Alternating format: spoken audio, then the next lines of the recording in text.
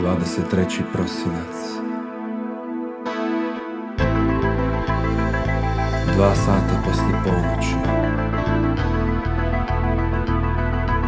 Zvoni telefon. Poziv iz bolnice.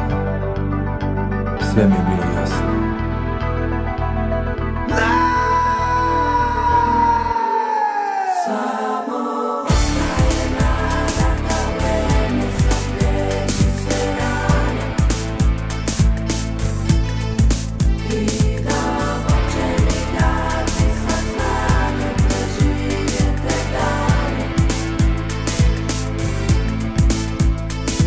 eu sou seu